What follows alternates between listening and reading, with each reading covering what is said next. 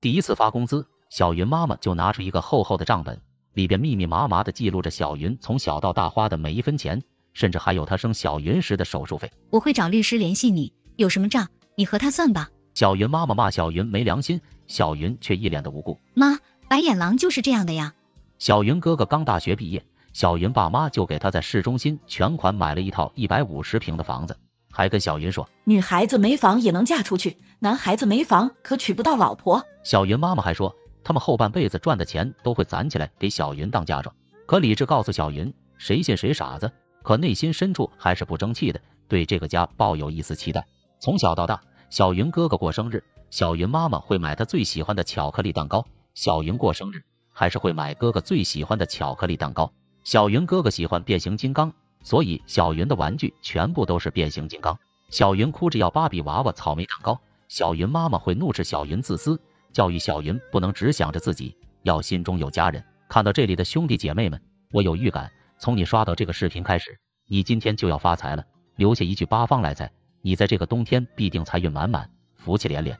上大学时，小云妈妈说，为了给小云哥哥买房。家里已经没钱了，希望小云能去做兼职，给家里减轻负担，然后顺理成章的不再给小云生活费。小云白天没课的时候在学校图书室帮忙，晚上做家教，节假日去商场做促销、发传单，用微薄的兼职工资供自己上完了大学。原本打算考研的小云被迫改变计划，一毕业就开始找工作，在面试了十几家公司后，终于找到一份适合自己的工作，从实习生开始做起。小云哥哥毕业两年，一直待在家里。靠父母养着，每天除了打游戏，什么也不干。小云妈妈却说：“你哥有能力，不能随便找个工作消耗自己的本事。”小云反问他有什么本事。小云妈妈支支吾吾半天，瞪小云一眼，转身离开了。在家躺了两年后，小云爸妈花二十多万给小云哥哥找了一份铁饭碗。小云问母亲：“妈，你不是说家里没钱了吗？你不是说你们后半辈子赚的钱都给我吗？”小云妈妈顿时就炸了：“你怎么这么不懂事？你哥的工作是全家的大事。”你怎么能和你哥计较？我们供你吃，供你穿，供你读书，怎么就供出你这么个白眼狼？小云哥哥更是火上浇油。就是张小云，你怎么这么自私？爸妈的钱想怎么用就怎么用，你有什么资格指手画脚？母子两人你一言我一语，他们口中的小云已然是一个大逆不道、忘恩负义的白眼狼。小云被气笑了，反思自己为什么还会对他们抱有希望。第一次发工资，小云妈妈拿给小云一个厚厚的账本，说要算账。里边密密麻麻记着小云从小到大的每一笔开销，甚至连她生小云时的住院费都记录在本。小云饶有兴致地翻看着。二零零三月六日，奶粉一罐七十八元；二零零五年八月三十一日，幼儿园学费五百元；二零一四年五月五日，卫生巾三包二十三元；二零一九年六月二十四日，毕业照一百二十元。我会找律师联系，你有什么账你跟他算吧。小云妈妈骂小云没良心，怪不得人家说女儿都是赔钱货。小云一脸无辜，妈，白眼狼就是这样的呀。之后，小云拼命工作，实习期就帮公司谈成了一笔大单子。领导决定把半年实习期改为三个月，让小云提前转正。小云兴致勃勃地把这件事告诉家里的时候，可小云妈妈只关心小云一个月能拿多少工资，一万两千。小云如实回答，干得好，还有奖金和提成。小云妈妈眼睛都亮了，这么多钱了，你能花完吗？你哥一个月才四千块。工作离家太远，每天天不亮就起床走了，晚上天黑了才能回来。我和你爸想着，要不然给家里买辆车，你也能开，你说呢？听到母亲这样说，小云心中冷笑，想给他儿子买车，还美其名曰给家里买，说我也能开。我要不是了解他们，我就信了。可以呀，你们想买就买，我没意见。周末，小云妈妈一大早就打电话喊小云去四县，说她看中了一款车，只要二十五万，叫小云过去看看。小云顿时有一种不祥的预感，本着事出反常必有妖的规律，提前进入了防御状态。到地方之后，小云哥哥也在，小云就知道这种好事怎么能少得了他，怕是把身份证都准备好，只等办手续了吧？小云，我和你哥都看上这个车了，你哥刚才试了一下，特别好，特别满意。小云妈妈手舞足蹈，边说边比划。小云点头表示赞同，嗯，确实不错。随即招手叫销售过来，有红色的吗？有。小云妈妈急忙打断：“不能买红色，一个大男人开红色车被人笑话。要黑色，我不喜欢黑色，要红色。黑色，红色。”销售小姐姐见小云他们争执不下，夹在中间面露难色。小云掏出银行卡：“红色，我掏钱；黑色，我。”我哥掏钱。话音刚落，小云妈妈就以迅雷不及掩耳之速夺走了小云的银行卡，塞到销售小姐姐手里。红色，红色喜庆，就要红色。销售小姐姐礼貌接过卡，问小云全款还是分期。小云妈妈一听炸了，分期怎么能分期呢？你哥一个月才四千块，怎么还得起？不用麻烦哥哥，我自己还。小云妈妈欣慰满意的扬起嘴角，和小云哥哥相视一下。随后，小云去交钱，顺便办完所有手续。小云妈妈问道：“怎么没见他们要你哥身份证啊？我买车要我哥身份证干嘛？什么？你买车？对呀，我掏钱给我买车，有什么问题吗？”一直没说话的小云哥哥突然怒了，指着小云的鼻子大声吼道：“张小云，你耍我呢？”小云一脸无辜，这车又不是只生产一辆，你喜欢就去买一辆啊。小云突然捂嘴，假装恍然大悟，你不会是想让我这个妹妹掏钱给哥哥买车吧？小云妈妈瞪小云一眼，拉着小云哥哥转身就离开了。一个月后，妈妈过生日，小云做了一桌子的菜，又订了蛋糕。小云哥哥捧着一束花姗姗来迟，小云妈妈笑得合不拢嘴，找各种角度摆各种姿势。拍了九宫格发朋友圈，这世上所有心意加起来都不及儿子对我的万分之一。祝我生日快乐！小云也把用一个月工资给她自己买的金镯子戴在自己手上，拍照发朋友圈。妈妈过生日，送自己一个大金镯子，开心祝妈妈生日快乐，嘻嘻。刚才还在咧着嘴笑的小云妈妈，立刻笑不出来了。张小云，我过生日你不给我送礼物，却给自己买金镯子，你是想气死我呀？妈，你别急呀。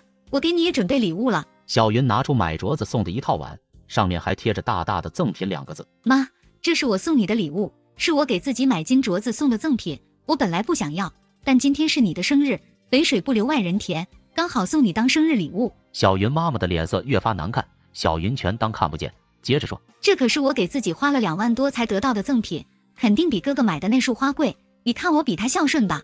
小云妈妈气急，说：“她没有小云这么狼心狗肺的女儿。”叫他滚出去，滚就滚！小云早都想滚了。就这样，小云到五星级酒店住了三天，三天后又搬进了新租的公寓。公寓房间虽然不大，一室一厅，但装修精致，是小云喜欢的风格。从此，小云一个人过起了神仙般的日子，日子清静，抬头皆是温柔。比起每天被父母的偏心左右心情，小云更爱这种无人问津的生活，没有失望和辜负，只有坦荡和自在。一个多月后。小云妈妈打来电话说，爸爸从楼梯上摔下来，住进医院了，要小云请假去医院照顾几天。我哥呢？怎么不找他？你哥那是正经单位，不好请假，不像你私人公司可以随便请假。小云真的被他的理直气壮逗笑了，讥讽道：“是啊，我可不像我哥那么好命，有爸疼有妈爱，有人花二十万给他安排月入达四千的工作，而我只能靠自己随随便便找个每月才两三万的工资混着罢了。”小云妈妈想开口骂小云。话到嘴边，又因为有求于小云而硬生生憋了回去，叽里呱啦说了一大堆。总之就是她要上班，没时间照顾小云爸爸，又舍不得请护工，就想让小云请假在医院照顾爸爸。可是领导刚交给小云一个项目，如果做得好，升职加薪指日可待。两相对比，小云觉得还是自己的前途更重要。你给你儿子打电话，他去医院照顾几天，我就去几天；他不去，我也不去。你们商量好了再来找我。没等他反应，小云就把电话挂了。我妈永远都是这样，为了我哥可以毫无底线的牺牲我的一切。从小到大，我为我哥背了多少黑锅，我自己都记不清了。以前小，迫于他的压力，我不敢反抗。可今时不同往日，他已经没什么可以拿捏住我的了。第二天，小云妈妈在朋友圈发了一张照片，小云哥哥坐在爸爸病床边给他喂香蕉。配文：关键时刻还得靠儿子。小云笑了，找出前几天吃豪华大餐的照片。配文：爸爸生病了，好难过。豪华大餐也难以下咽，爸爸一定要早日康复啊！不一会儿，手机就响了，是小云哥哥打来的。张小云，你脑子进水了？爸在医院躺着你不管，居然跑去吃大餐，你到底有没有良心？小云委屈的开口：“冤枉啊，哥哥，爸爸受伤了，我比任何人都心痛。可是我得赚钱呐，我们俩是同父同母不同命，我什么都得靠自己。”小云哥哥理直气壮的教育小云：“就因为爸妈给我买了房，你就记仇，记到现在，咱俩是亲兄妹。”你这么斤斤计较有意思吗？爸妈辛辛苦苦把你养大，你呢？你长这么大给家里付出什么了？小云嗤笑。所以你张大少爷给家里付出了什么？说出来让我长长见识。话音刚落，电话那头就开始无能狂怒。你怎么能和我比？我是男人，这个家以后是要靠我撑着的。小云针锋相对，靠你每月四千多块的工资吗？靠你啃老不够，还想啃妹吗？真是笑死我了！我到底是有多闲，才会和这个白痴说这么多？此刻小云十分庆幸自己没有受妈妈影响，否则真的不敢想象小云会被这一家人吸血到什么程度。晚上，小云妈妈在家族群里艾特小云：张小云，你爸生病住院，你连面都不露，是觉得翅膀硬了，用不着我们了，是吗？这句话对于爱看别人家热闹的亲戚来说，无疑是个重磅炸弹。一丢出来，群里立刻炸了锅，满屏的问号。而此刻的小云正窝在沙发上看电视剧，正好看到女配角被爹妈和哥哥联合坑了，被迫为了钱美身于各种男人之间。小云虽不至于这么惨，也没女主那么傻，但仍旧看得泪流满面。生在重男轻女的家庭的女孩子，因为一直不受重视，只能一次一次通过牺牲自己来获得父母的认可。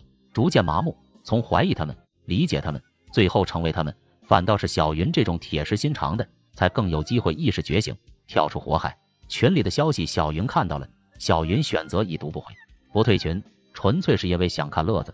见小云没反应，小云妈妈开始控诉小云这个不孝女，一个不知好歹、斤斤计较、狼心狗肺的女儿形象，在群里很快就建立起来。群里七大姑八大姨纷纷把矛头指向小云，一唱一和替她撑腰。小云真的要被他们笑死了，一个个日子过得一地鸡毛，却总爱掺和别人家里的事，试图用别人家的问题来泼自己。这时，大姨说道：“小云，你妈辛苦工作一辈子，所有钱都花在你们身上了，她这么爱你，你可不能这么没良心。我妈给我哥全款买房，花两万给我哥找工作，她真的好爱我。”小云舅舅说道：“你哥是外人嘛，给你哥买和给你买有什么区别？别忘了你们是亲兄妹。既然没区别，那舅舅。”你把老爷留给你的两套房子给我妈吧，我妈不是外人，你可是她亲哥，房子给你和给他有什么区别？小云表哥大声吼道：“张小云，你迟早要嫁出去，姑姑姑父以后是要靠你哥的，你别跟你哥比。你见过谁家给女儿买房的？”表哥，你说的对，你打算什么时候把嫂子陪嫁的那套房还给你老丈人？毕竟嫂子都嫁出来了，你见过谁家给嫁出去的女儿房子的？舌战群儒一通对之后，再也没有人为小云妈妈发声了。闲杂人等的战队是暂时的、脆弱的，只要拉他们进来，风都不用吹就散了。而小云妈妈作为群主，无处泄愤，一脚把小云踢出了群聊。之后很长一段时间，他们都没有找小云，小云也乐得轻松，一心扑在工作上。小云负责的项目大获成功，升职加薪，成为他们公司最年轻的项目组长。不仅如此，公司还奖励小云了一笔奖金，小云一次性还完所有车贷。剩下的钱准备再攒点给自己首付一套房子，因为父母的偏心，从小家里就没有什么东西是属于小云的，以至于长大后最喜欢的就是给自己的东西署上自己的名字，拥有一套完全属于自己的房子是小云的执念。春节，一直在外地做生意的爸爸打电话让小云除夕回家吃饭，小云想推辞，但是知女莫若父，拒绝的话还没来得及说出口，就被他抢了先机。回来吧，你妈准备了很多你爱吃的菜，过年嘛。就是要一家人整整齐齐的在一起。小云妈妈也在一旁附和：“母女哪有隔夜仇？爸爸妈妈，好久没见你了，你哥也整天念叨说想你了。”小云在内心冷笑：“要不是认识我哥，也许我真的会信。”犹豫片刻，小云还是答应了。可能是小云内心深处对他们还抱有一丝幻想吧。吃饭的时候，不知是出于什么原因，小云妈妈一直殷勤的给小云夹菜。来吃个鸡翅，我记得你最爱吃我做的鸡翅了。小云苦笑。确实有人爱吃他做的鸡翅，但那个人不是我。我妈做鸡翅总是喜欢给锅里放好多糖，那是我哥最喜欢的口味，我嫌太甜腻，从来都不吃。见小云不动筷子，小云妈妈又剥了一只虾放到小云碗里，妈专门给你做的。小云无奈的看着他，小时候因为吃虾过敏，全身长满了红疹，连食管里都长了，差点酿成大祸。医生千叮万嘱不要让小云再吃虾了。而时至今日，当初带小云去医院的人。却亲自剥了一只虾让小云吃，大概这就是不爱吧？因为不爱，所以不上心。小云夹起碗里的虾，放进骨碟，就着眼泪，一口一口往嘴里塞白米饭。一桌子菜，竟无菜可吃，除了小云不能吃的，就是小云不爱吃的。小云早该想到，他们根本不知道，也不关心他爱吃什么。见小云这样，小云哥哥怒了，觉得小云扫了他们的兴。张小云，你任性也要有个度。大过年的，你诚心来膈应人，不想回来可以不回来。甩脸子给谁看呢？小云妈妈装模作样的打了小云哥哥一下。小马，别这样说你妹妹，你从小就最疼她，她心里有数的。说完又转头谄媚的对着小云：小云，妈没说错吧？小云不知道他葫芦里又想卖什么药，只是笑了笑，并没说话。小云爸爸喝了点酒，二分醉意，硬是装成八分，拉着小云非要说心里话。小云啊，我知道你对我们只给你哥买了房有意见，你放心，等爸爸有钱了，一定给你买套更大的、更好的。小云被感动的稀里哗啦。谢谢爸爸，我就知道爸爸最爱我了。你放心，等我成为全城首富，我给你买好车，给我妈买别墅，给我哥开公司。小云爸爸皱眉道：“我没跟你开玩笑，现在先把你哥安顿好了，后半辈子我们就为你活了。”我也没开玩笑，真心实意的，不就是画饼吗？你给我画一张，我给你画一张，有来有往。小云，你工资那么高，存了多少钱？我挣的那点钱呢，够花呀。上周买了个包，花了一万六千；上上周买了条裙子，五千多；上上上周花两万给公寓换了套沙发。哦，还有。小云妈妈撇着嘴打断小云：“你花钱也太大手大脚了。我为了还房贷，每天打两份工，你怎么就不知道体谅体谅我？房贷。”什么房贷？我哥的房不是全款买的吗？小云妈妈意识到说漏嘴了，赶紧闭嘴。小云却不打算放过追问，所以你们背着我又给他买了一套。张小云，爸妈的钱想怎么花就怎么花，还轮不到你管。哥哥，我觉得你说的对，我的钱我也想怎么花就怎么花，同样轮不到别人来管。我就是喜欢花钱，大手大脚，没办法，谁让我有本事会赚钱呢？小云哥哥可能觉得小云是在说他没本事，猩红着眼睛，拳头紧握。恶狠狠地看着小云，小云爸爸赶紧出来打圆场。虽然我们给你哥买了两套房子，但是也不会亏待你。等我们百年之后，这套老房子你和你哥平分，一人一半。小云顿时被气笑了。好好好，真是没有亏待我，一人一半，这碗水端的可真平啊。正月十五，小云妈妈又打电话叫她回家，说是哥哥谈了个女朋友，要来家里看看。小云刚进门，屁股还没坐到沙发上，小云妈妈又推小云出去，让她多取点现金。她要给未来儿媳包红包，小云两手一摊，可怜兮兮。昨天刚买了这个包，没钱了。看了一眼小云肩上背的包，小云妈妈灵机一动，又想把小云的包送给她儿媳妇当见面礼。小云当然不给，回家一趟还得损失三万块。小云可不当这个冤大头，没等人来，小云已经溜了。年过完，小云妈妈找小云借钱，说那女孩家提出三十万彩礼钱，被小云拒绝。可是没过几天又来找小云了。爸妈把你养大不容易。供你吃，供你穿，没有亏待过你，你就当帮帮我们，多少拿点。难道你真的要逼着我和你爸去卖血卖肾吗？小云被气得发抖，她想不到母亲为了哥哥，竟然拿卖血卖肾来威胁他。如果他今天不拿钱出来，他们就会站在道德的制高点来指责小云，逼他们卖血卖肾。而实际受益人小云哥哥却完美隐身，仍旧是那个孝顺懂事的好儿子。可是小云妈妈似乎还不太了解小云。道德绑架那一套对小云已经完全没有用了。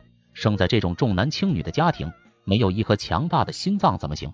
小云妈妈见小云不为所动，又一次拿出了那本专属于小云的账本。你从小到大总共花了我十八万，我也不让你全部还给我，给我十五万就行。小云妈妈振振有词，一副秀奥运占了大便宜的语气。小云笑了，以为真的很可笑。妈，你是不是不知道父母有义务抚养子女到十八岁？十八岁以后。你给我的每一分钱都有转账记录，不到两万，你确定要为了两万块买断我们的母女关系？小云妈妈顿时愣住了，她没想到小云会以断绝关系威胁她，思前想后，不至于为了两万块钱得罪小云。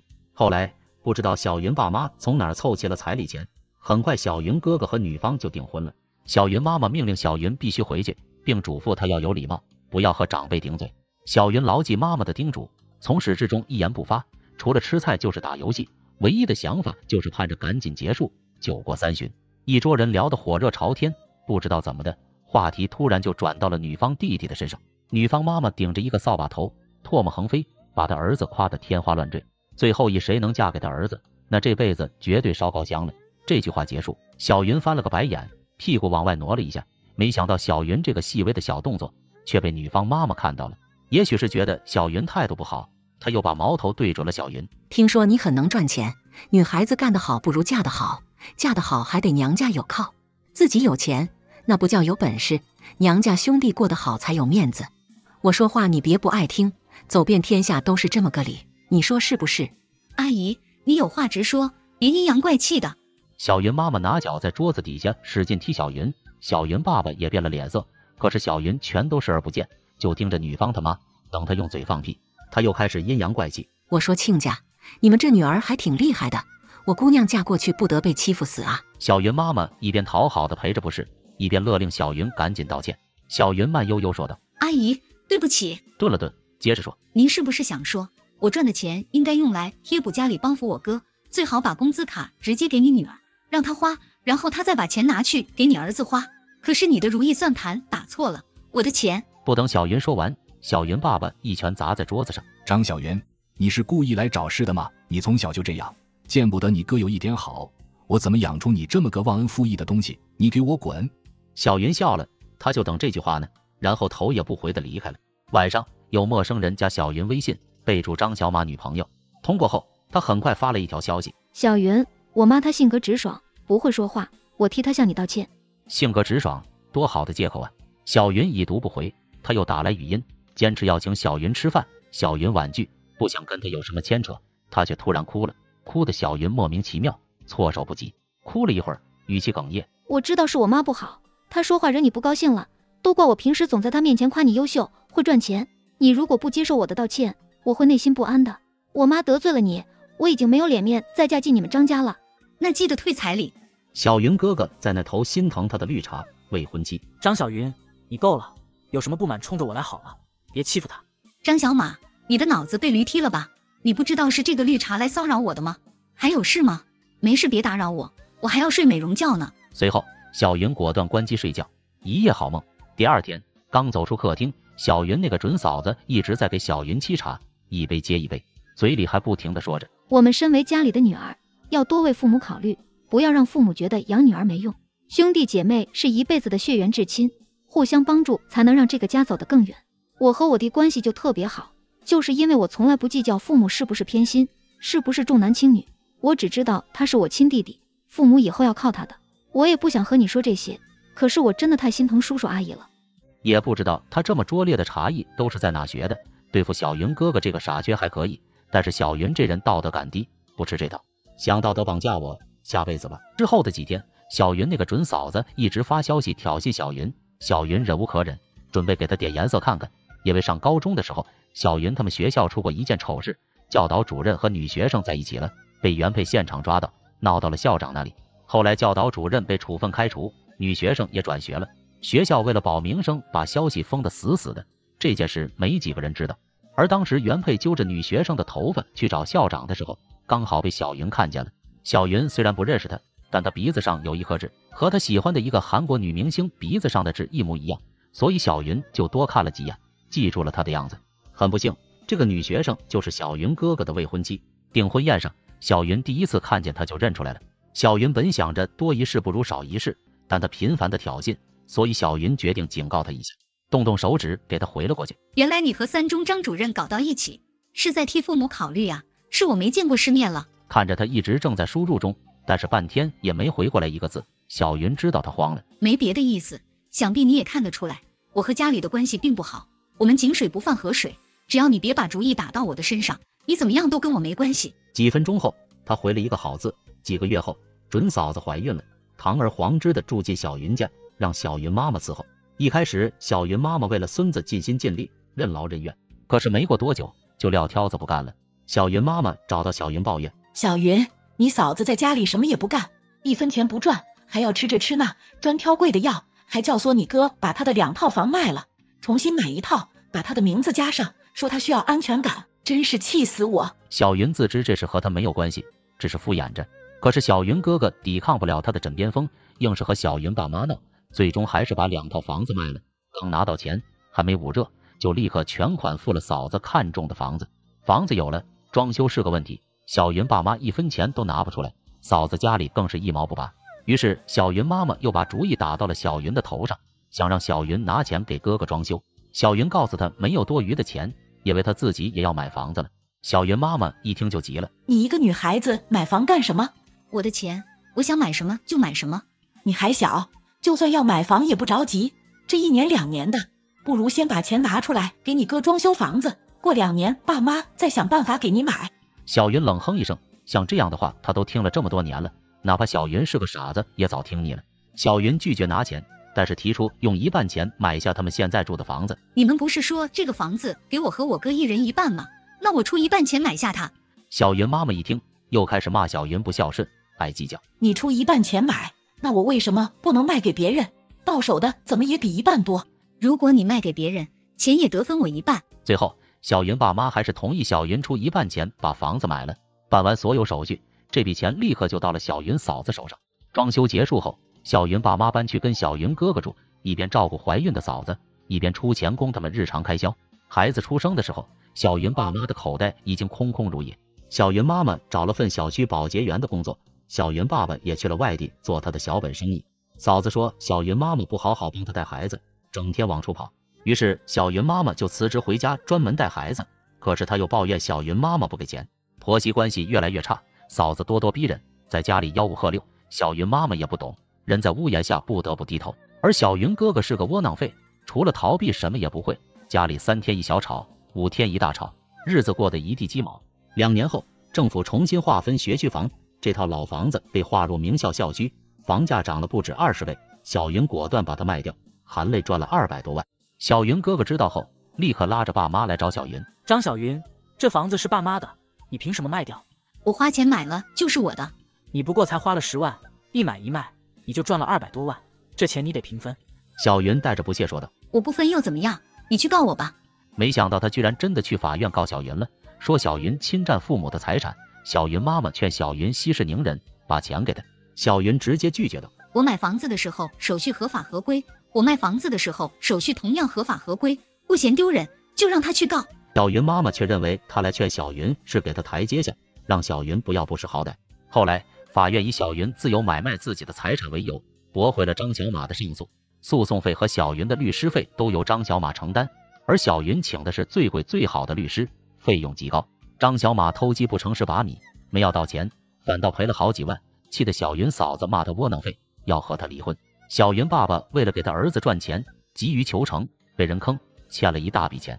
小云知道爸妈肯定又得找他，干脆休了年假出门旅游，等小云再回来。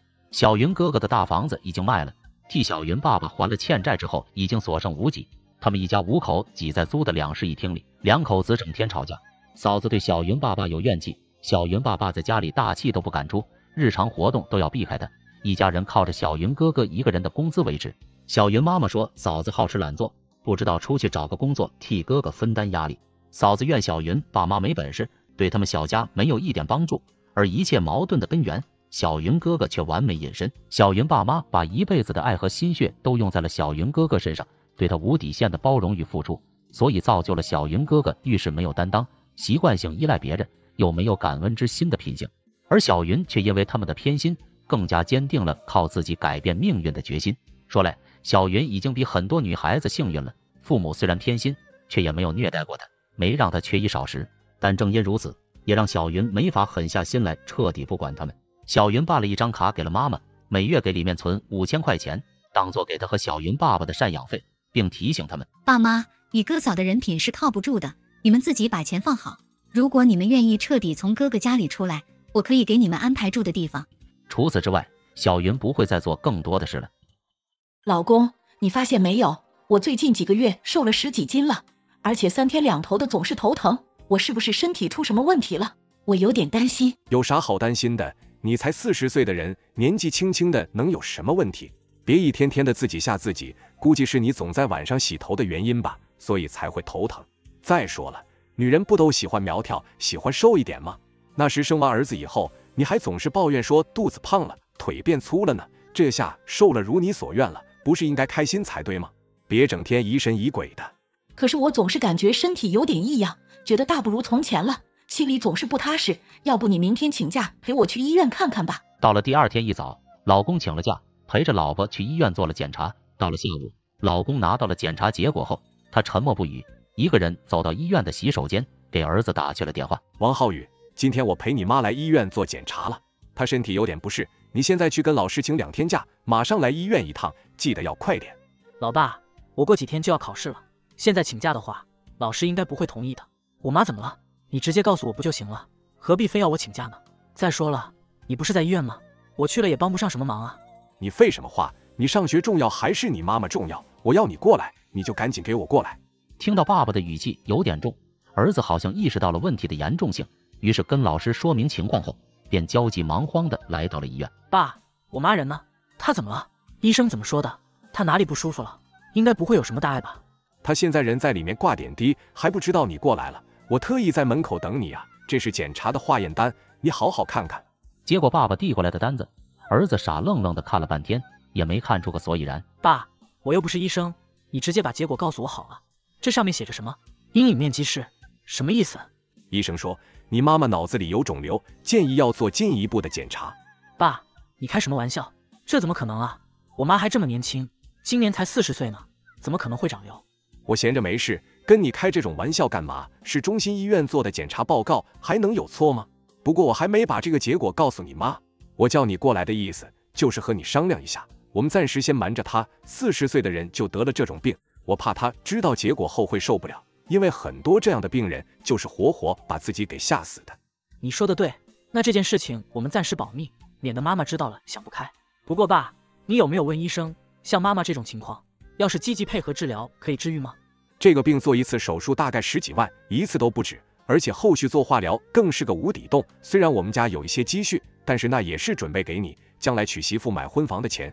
如果把这些钱用来给他治病，估计也远远不够。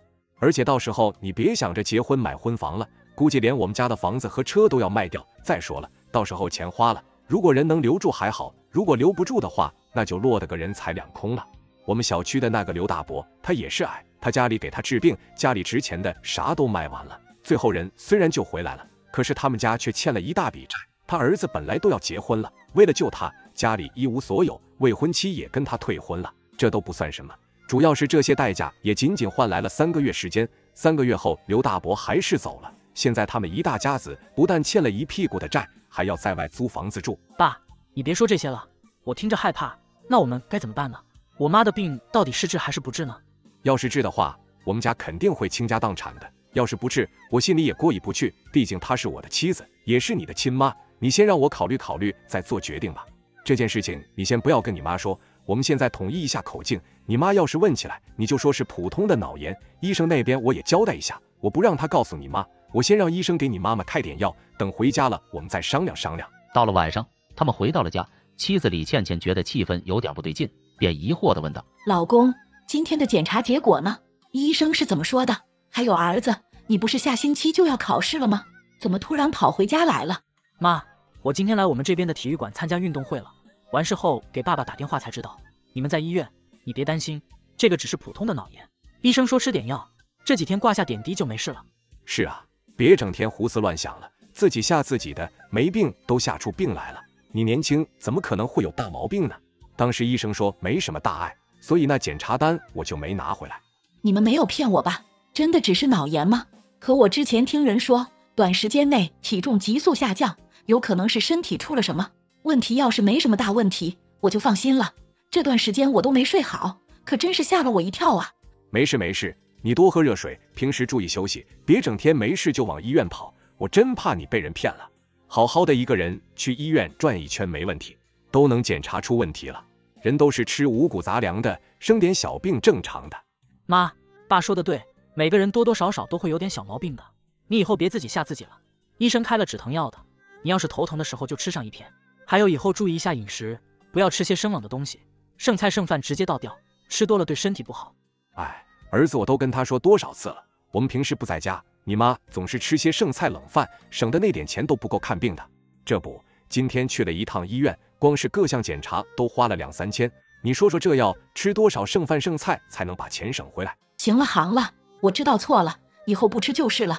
我现在可是个病人呀，你们父子一个劲儿的数落我，我好难过呀。我的好妈妈，我们说这些也是为了你的身体着想。好了，今晚我就不在家里睡了，我得回学校复习，后天就到周末了，到时我再回来。嗯，那你路上注意安全，晚上睡觉盖好被子，不要着凉了。等你休息回来了。妈妈给你做好吃的。听着妈妈关心自己的话，儿子心里就像被针扎一样的疼。为了不让妈妈看出异样，他只好落荒而逃。回到学校后，儿子当晚彻夜未眠，第二天一早就给爸爸打了电话。爸，你不是跟我说认识医院里的一个脑科专家吗？你打算什么时候送我妈去治疗？现在都年底了，那些专家教授也需要休息，等过完年了再说吧。我会联系他的。我我心里好难过。爸，不管结果好坏。我们都给妈妈治病吧，起码以后不会留有遗憾了。你说这话什么意思？难道我就不想吗？但你也要搞清楚我们家里的实际情况啊！你现在都要大学毕业了，等你一毕业，也差不多要谈对象、娶妻生子了。如果我们家里搞得一穷二白，一屁股外债租房子住的话，你认为现在会有哪个女孩愿意嫁给你啊？爸，可是，别可是了，你就听爸的，爸心里有数，会给你安排好的。两个星期后，老婆，儿子马上要毕业了，他年纪也不小了，估计也谈女朋友了。现在房价降了一些，我想和你商量一下，给儿子订套房子。老公，怎么突然说这个呢？我们住的这套房子不是好好的吗？就算儿子将来娶个老婆回来，家里也有房间呀。现在有几个儿媳会跟公婆住啊？所以我觉得还是给儿子单独买一套房，让他们过二人世界比较好。再说了，现在买的算是儿子的婚前财产，等媳妇过门再买，那可就是婚后夫妻的共同财产了。说句不好听的。他们以后要是过不下去了，还要分点媳妇一份，那不就得不偿失了？行吧，那你看的房子位置怎么样？附近有没有好点的学校？周围配套设施齐不齐全？他们以后要是有孩子了，孩子读书也是个大问题，最好是离我们家近一点，也方便我去照顾儿媳和孙子。放心吧，那个楼盘之前我就考察过了的，附近啥都有，一应俱全，价格也很划算。我打算首付个百分之五十，这样的话，儿子以后也不会有太大压力。另外，儿子毕业后的工作我也安排好了，你也不用担心了，是个事业单位，收入稳定，工作也很体面。这份工作完全能支撑他以后每月还房贷。还是你想的周到，不但把儿子的婚房也置办了，连他的工作也安排好了。老公，你真的是太厉害了！哈哈，这可是儿子人生的两件大事啊！那我们就等着看儿子娶妻生子了，想想都觉得幸福。对了，老公，不知道怎么回事，最近我的头疼的比以前更厉害了，每次吃止疼药都没多大作用，有时疼得我满头虚汗。要不你抽空再陪我去看看医生吧？只是普通的脑炎，上次不是检查了吗？难道医生说的话还能骗你不成？你不要老是胡思乱想的，平时多注意休息，多喝热水就行了。我知道这些年你为了这个家辛苦了，现在儿子马上毕业，工作和房子也有着落了，你以后也可以好好歇歇了。想吃什么就吃，想喝什么就喝，想穿什么去买。在家里要是无聊了，你跟我说，我陪你出门旅游散散心也行。好吧，好吧，可能真的是我多想了。不过止疼药好像吃完了，你今天下班回来给我买点吧，不然夜里疼起来我睡不着觉。过了几个月，儿子大学毕业去了单位上班，一切似乎都在朝好的方向在发展。可是有一天，就在妈妈打扫卫生的时候，在儿子房间里，她无意间发现了自己的病历化验单。她不可置信的看了又看，然后瘫坐在了地上。等她冷静了一会儿后，于是给老公打去了电话。老公，我在儿子房间里看到了我之前的病历，上面说我头部有阴影，疑似脑瘤，建议让我做进一步的检查，是怎么回事？听到妻子的质疑，老公迟疑了一小会，说道：“我发现你怎么又疑神疑鬼起来了？身上有点不舒服，就说自己得了癌，你就别整天自己吓自己了。要是你在家闲着无聊，就多干点家务活。”昨天我看家里还乱糟糟的，你也不知道去收拾收拾。以前咱们家可是一尘不染的。还有下个星期天，你公公就七十大寿了，到时候家里有很多亲戚朋友要来，我们一家三口也都要去的。你的厨艺那么好，倒是要给大家露一手，别关键时候掉链子。老公的话明显就是在转移话题，但老婆还是不依不饶的问着：“你就别瞒着我了，这个检查结果显示我根本就不是脑炎，而是脑瘤，怎么办？老公，我现在好害怕。”见事情败露了，瞒不住了，老公只好破罐子破摔。你想怎么办？我又能怎么办？我们家里什么条件，你又不是不清楚。我也就是个打工的，一个月工资只有八千，去年也才给儿子的房子交的首付。现在我们家哪里还有钱？我也想给你治病，可是我心有余而力不足啊。再说了，这个病治不治的好又是一回事。你要是实在想治，我可以把儿子那套房子转手换钱，让他过个十年八年再娶老婆。要卖也是卖我们这套房子，卖儿子那套干嘛？等等，你搞清楚点，什么卖我们的房子？这套房子的房本上可是写的我的名字，属于我的婚前财产。你可别想打我这套房子的主意，我是不会同意的。再说了，卖掉这套房子，到时候我住呢，难道让我流落街头不成？老公，我都嫁给你二十年了，这么多年把你伺候的好好的，为你生儿养儿，操持着这个家，就算没有功劳，也有苦劳吧。如今我生病了，你居然说出这样的话，你有点良心吗？我可是你的老婆呀，是你儿子的亲妈？你别跟我谈什么功劳苦劳的，你还要我怎么对你？我们结婚的二十年里，你一天班都没上过，你一分钱都没给家里挣过，你吃的穿的用的，哪一样不是我辛辛苦苦挣回来的？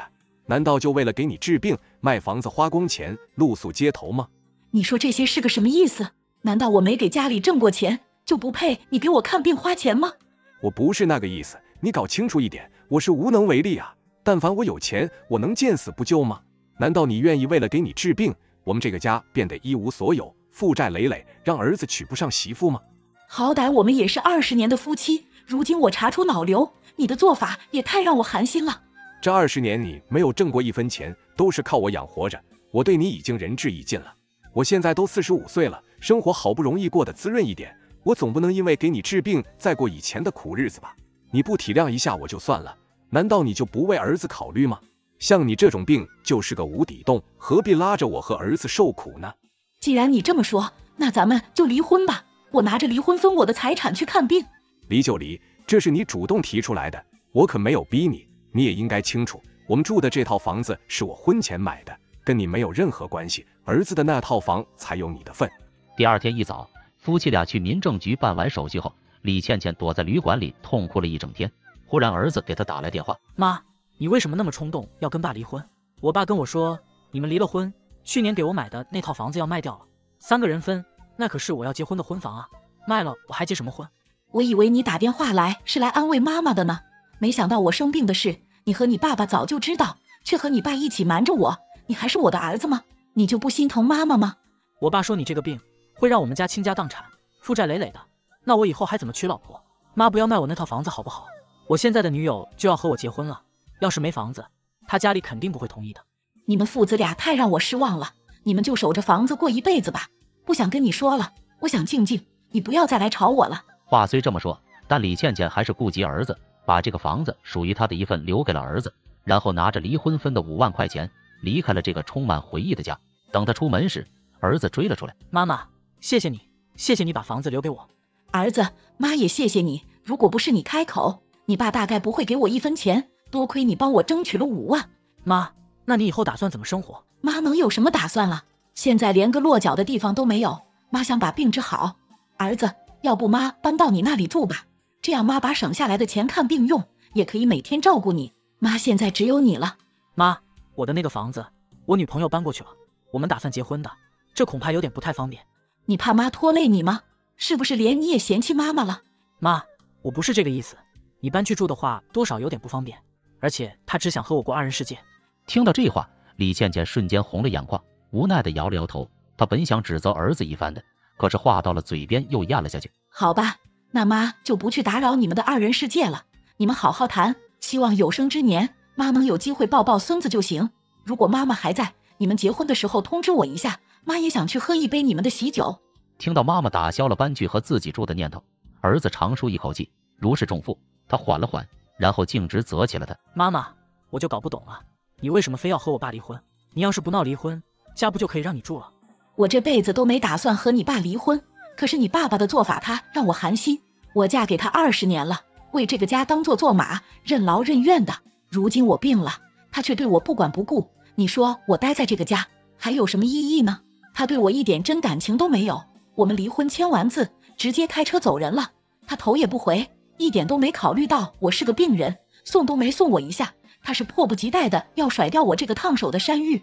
你奶奶那时瘫痪在床，我伺候她整整八年，给她端屎端尿。从不抱怨，虽然最后你奶奶还是走了，那也是没办法。但是我也尽心尽力的照顾她了。这些年我付出了那么多，换来的却是这样的结果。哎，不说了，这大概就是我的命。儿子，以后你照顾好自己，好好生活。我现在自身难保，也管不了你那么多了。再见。他话一说完，儿子也和他爸爸一样，头也不回的走了。他感觉有点无助，很想哭。他在路边思虑再三。然后拖着行李箱走到了医院。陈医生，这是我的化验检查单，我去年在这家医院查出的脑癌。这次来我没有别的意思，就是想问问你，我大概还能活多久？陈医生看了看他的检查单，一脸不可思议的望了望他。什么脑癌？这个根本就不是你的病例。这就是我的病例啊，检查单上写着名字呢，李倩倩，我就是李倩倩本人了。你叫李倩倩，我看你今年大概四十多岁吧。但是这个病历上年龄写的是二十五岁，跟你的年龄不相符呢。你稍等一下，我帮你查一下病历存档，看看到底怎么回事。随后，陈医生仔细的查询了电脑存档，居然有两个人的名字都叫李倩倩，一个四十岁，一个二十五岁。周女士，我刚刚查了，得了脑癌的人不是你，而是另外一个叫李倩倩的，她今年二十五岁。依我看，可能是你当时拿错检报告了。不会吧？当时我在输液打点滴，是我老公帮我去拿的检查报告。你老公可真是大意，化验单上的年龄都不相符，他也不知道。陈医生，那您的意思是我没有脑癌？可是我的症状和这上面说的很相似啊！我经常头疼，有时吃止疼药都不能缓解，血压高的时候也会头疼，还有生完孩子月子没做好也会头疼，很多方面不注意都会引起头疼。我查了一下，您只是妇科有点问题，不过都是一些小问身体，放心吧，你身体好着呢。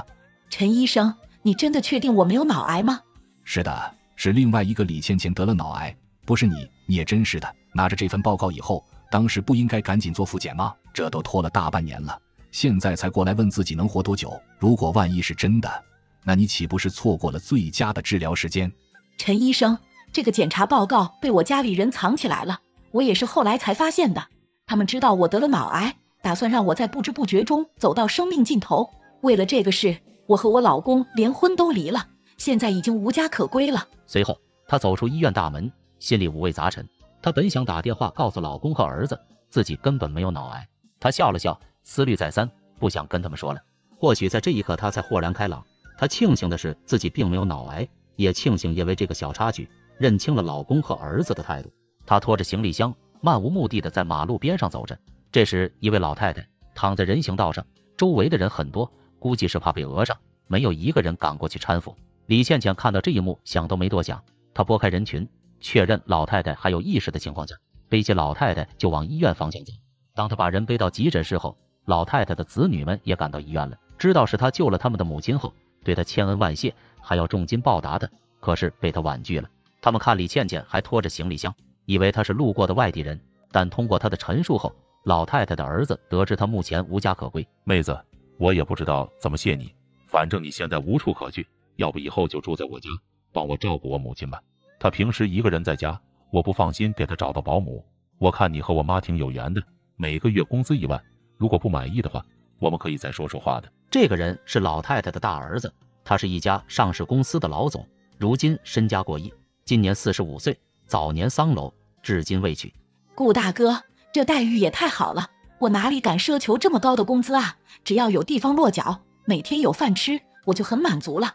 不过你放心，我前婆婆中风瘫痪在床，我悉心照顾了她八年，直到她走的那一天，身上都是干干净净的。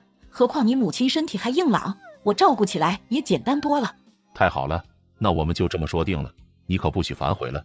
以后有什么要求，你尽管提，我都会满足你的。随后，李倩倩陪着顾老太太住进了顾志强的别墅。每天就是陪老太太说说话，给她做做饭，出门散散步而已，一晃就是三个月。这期间，李倩倩没有联系过儿子，儿子也没有主动联系过她，儿子好像人间蒸发了一样。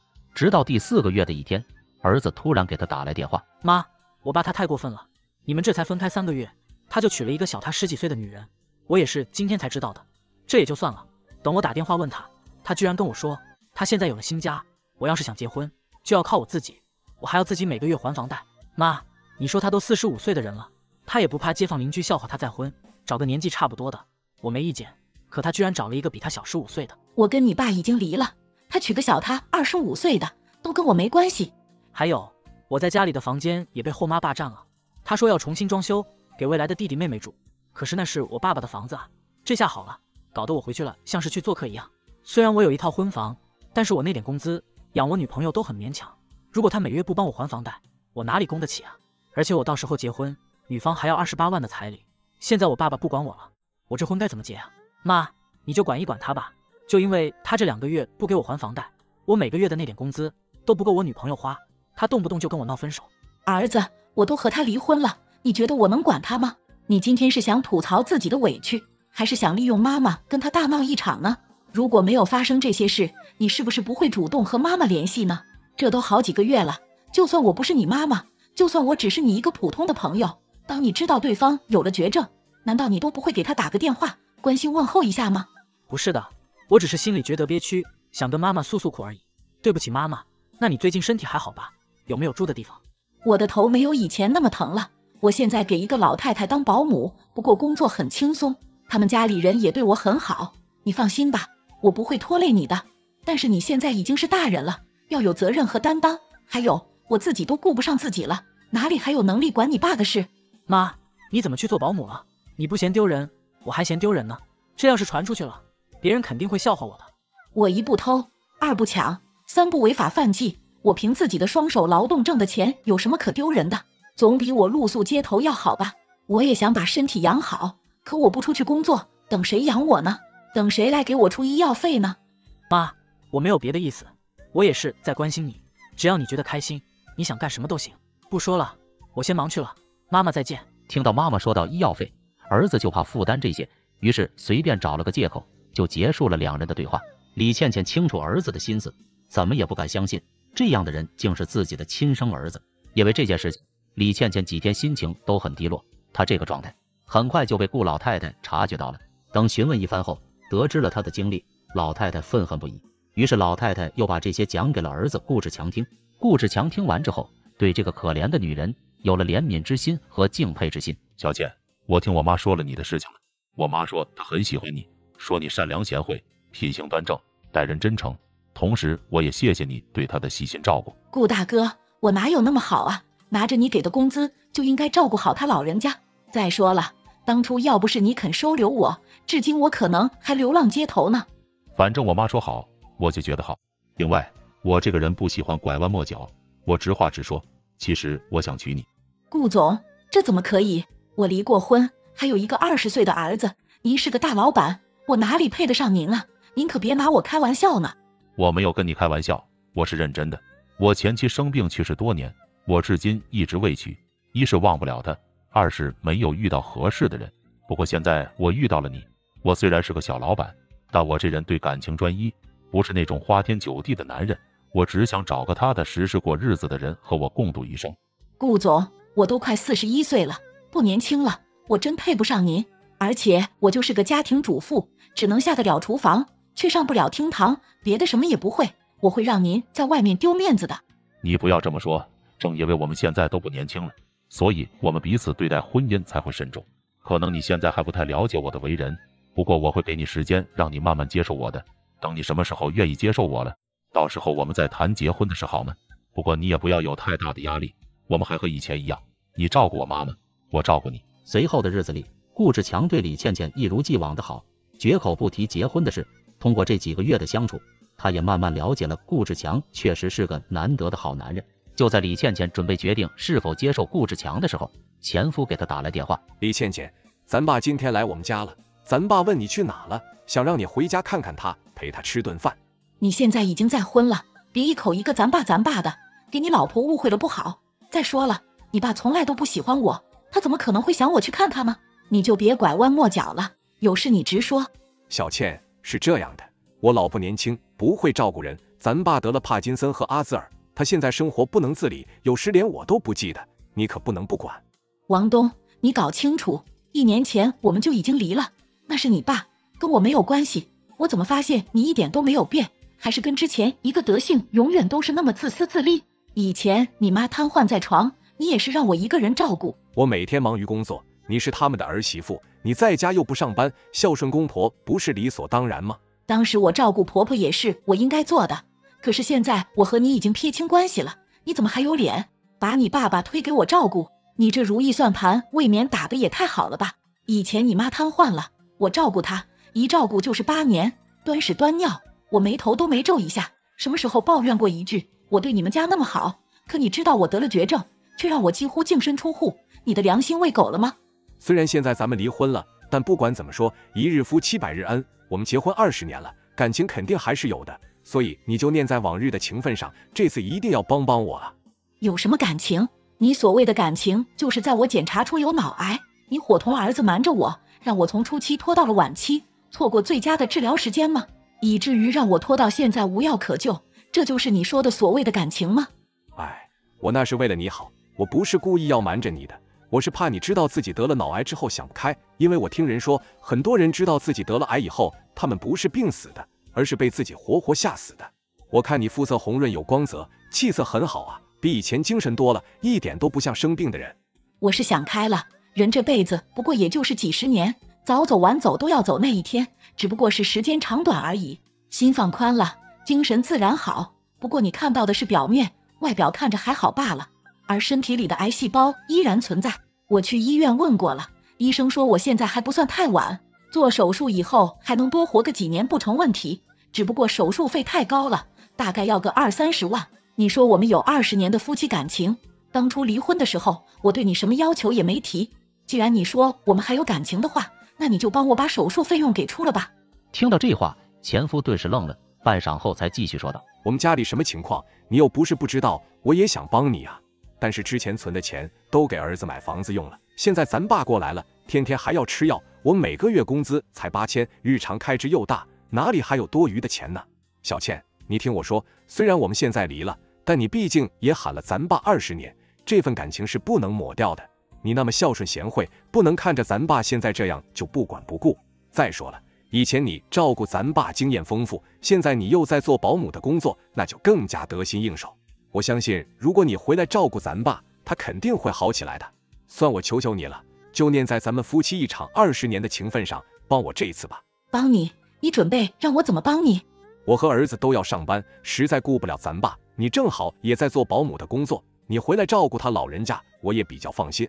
说到底，你就是把我当成了保姆。呵呵，可以呀。你当我是保姆也行，那请问这位老板，你一个月准备给我开多少钱的工资呢？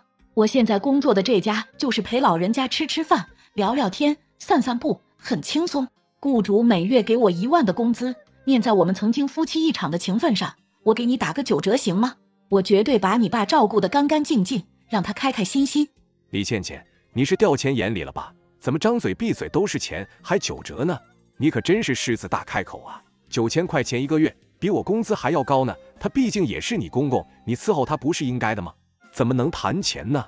谈钱多伤感情啊！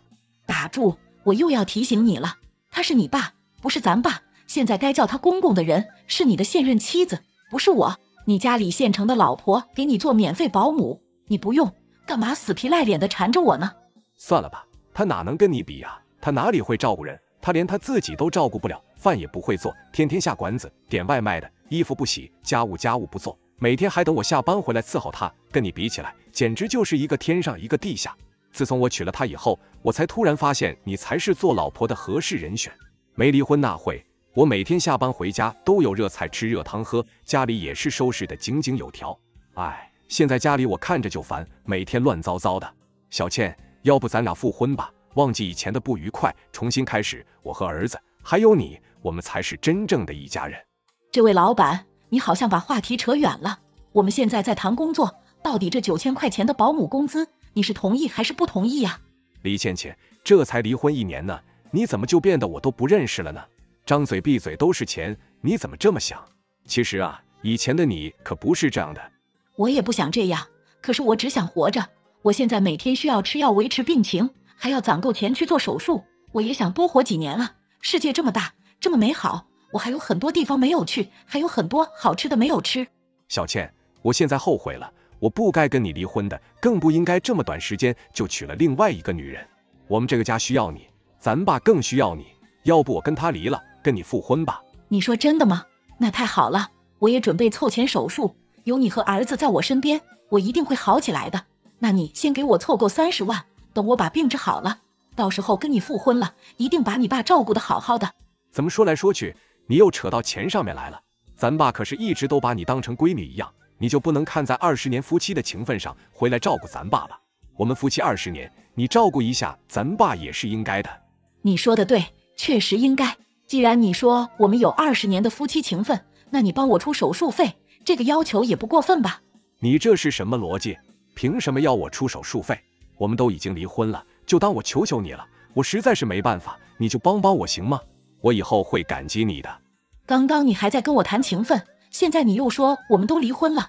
那既然我们离婚了，那我凭什么还要照顾你爸吗？那我也求求你好不好？最近我头疼的越来越厉害了，医生说要尽快做手术。我父母去世的早，我现在只剩下你和儿子两个亲人了。儿子还小，所以我也指望你给我出钱了。前夫见苦肉计不起作用了，就挂了电话。他百思不得其解，离婚这才一年时间，以前乖巧听话、胆小怕事的李倩倩怎么会变成如今这般呢？就因为这件事后，李倩倩回想着刚刚和前夫通话的情形，难过的哭了起来。而这一幕碰巧被雇主顾志强看到了。小倩，你是哪里不舒服吗？我送你去医院吧。啊，顾总，我没什么事，就是想起往事，没什么，没什么事。嗯，没事就好。有什么要求记得跟我提，什么都好商量。这些日子我妈妈多亏了你的细心照料，现在她精气神越来越好，也喜欢说笑了。这些我都看在眼里。你对我妈妈的照顾尽心尽责，我都不知道该如何感谢你了。我妈妈说你是老天派给她的天使，当时要不是你见义勇为在马路边救了她，她现在都不知道会是什么样了。而且她说她现在越来越离不开你，想认你做女儿，不知道你愿不愿意，所以让我来问问你。顾总，您过奖了。当时他老人家摔倒，换做是别人也会送他去医院的。而且当时我也是无家可归，是您收留了我。我在这里吃得好，住得好，工资又高，照顾好他老人家也是理所当然的。如果要说感谢，应该是我谢谢你们才对，不然我现在可能还在流落街头呢。能做他的干女儿，我求之不得呢。他平时待我很好，亲切的像母亲一样。顾总，不瞒您说。我很小的时候就没了爸妈，结婚以后我把婆婆当自己亲妈一样。后来她走了，我又变成没妈的孩子了。现在你们给了我机会，我又可以喊妈妈了，我太幸福了。意思是说你同意了，对吧？太好了，我妈在这个小区给你挑了一套房子，这是钥匙，你拿着。送这套房子给你有两个原因，一是你对我妈有救命之恩，二是她给女儿的见面礼。啊，顾总，这个礼太贵重了，我不能收，不能收。没事，你就收下吧。你不收的话，我妈会生我气的。你忍心让你干妈心情不好吗？好了，我妈的事办完了，现在该轮到我了。之前我跟你说的事，你考虑的怎么样了？顾总，我说实话，通过这几个月对你的了解，我发现你确实是个好男人。可我没事，有什么话你就直说，什么结果我都可以接受。不是，我不是这个意思。顾总，你知道的，我离过一次婚，有一个二十岁的儿子。除了家庭主妇的事情，其他什么也不会做。而你没有孩子，我已经四十一了，可能以后没有办法为你生儿育女。我觉得这样对你不太公平。我们俩都结过婚，只不过我是丧妻，你是离婚。我也已经四十六岁了，年过半百的人了，所以我们对婚姻也会格外慎重。不过我看中的是你的人，其他外在的我觉得并不重要。至于孩子的问题，你也不用担心。现在都什么年代了，还在乎这些？如果不能为我生儿育女，那咱们可以去贫困山区自助，或者孤儿院领养一个两个的都没问题，何必在乎是不是亲生的呢？听到顾总这一番话后，李倩倩被感动的稀里哗啦。她觉得自己虽然婚姻不幸，被前夫所抛弃，但她现在也是幸运的，因为她遇到了这个世界上真心待她的两个人。好吧，那我们就试试吧。顾总看到李倩倩答应了，开心的像个孩子一样。之后的日子，两人感情快速升温。婚期也很快定了下来。忽然有一天，好似人间蒸发的儿子，在得知母亲名下有一套房子的消息后，迫不及待的又出现了。妈，跟你说个事儿，我爸被单位辞退了，都是被我爷爷给拖累的。他最近才找到新的工作，然后把爷爷送养老院去了。妈，你说养老院是多么不靠谱的地方啊！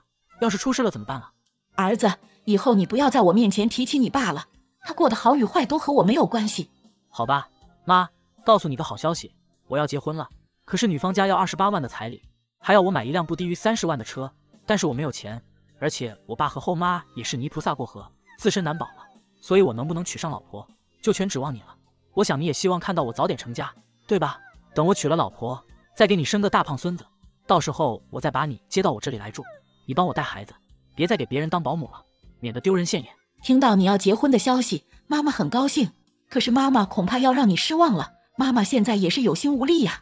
妈，你就别说笑了。我听说你名下有套房子，到时候你搬来和我们一起住了，你还留着房子干什么？不如直接卖了，卖的钱正好可以帮我把房贷清了。妈，我可是你的亲生儿子，我的婚姻大事就全靠你了。这个房子是雇主看我可怜，暂时给我住的。我是一个有脑癌的人，哪来的钱买房？如果我有钱，我为什么不拿钱去做手术呢？再说了，到时候人都不在了，留一套房子又有什么用呢？这两年我做保姆是赚了一点钱，可是每天都要吃很多药，也没剩下多少。我还想着什么时候能把钱攒够了，去把手术做了，不然妈妈都不知道有没有那么长的命给你们带孩子。